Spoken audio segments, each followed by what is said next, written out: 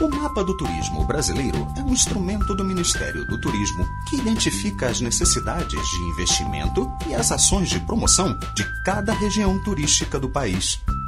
Esse instrumento precisa ser atualizado constantemente para que a destinação de recursos e as políticas públicas voltadas ao setor sejam eficazes.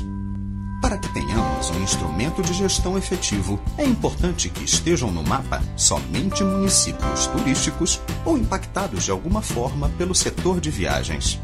O órgão estadual de turismo é o responsável pela atualização do mapa em seu estado.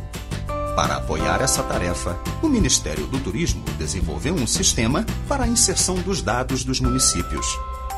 O mapa agrupa os municípios por regiões, reunindo os que estão mais próximos e têm características similares ou complementares.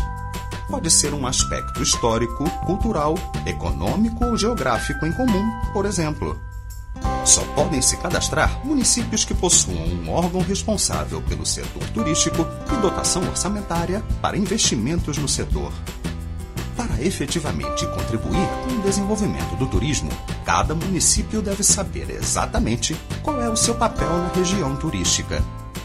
Se o seu município atende aos requisitos, procure o órgão de turismo de seu estado. Em caso de dúvidas, em nosso site é possível ter mais informações sobre o mapa do turismo brasileiro. Ministério do Turismo, em sintonia com os novos tempos.